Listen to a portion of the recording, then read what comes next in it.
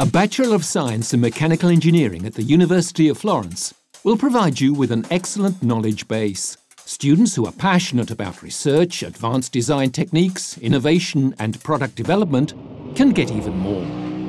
The Master of Science program in Mechanical Engineering is devoted to excellence. Alma Laurea data about time to first employment and employment rates one and three years after graduation confirm this. Courses are organised into five tracks mechanical design, terrestrial vehicles, fluid machinery, aerospace propulsion, robotics.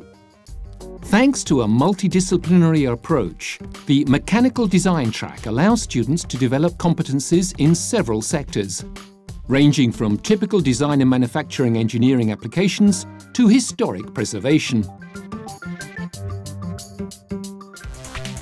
For those passionate about automotive engines, the Terrestrial Vehicles track provides specific competencies for the design and testing of powertrains and vehicles.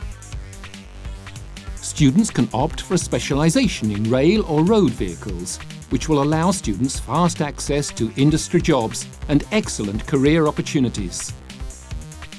The Fluid Machinery track will build a technical background for designing all kinds of turbo and volumetric machines used in energy conversion processes. The Aerospace Propulsion track introduces students to the design and development of aerospace propulsion systems, with special emphasis on gas turbine-based engines.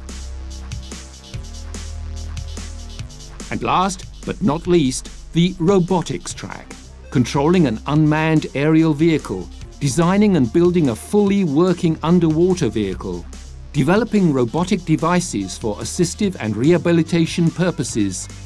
These are just some of the opportunities offered by the robotics track at the University of Florence. Thanks to a network of long-standing collaborations, students will have the chance to gain professional experience through thesis or internship programs developed in partnership with leading industries located in Tuscany and all over Italy.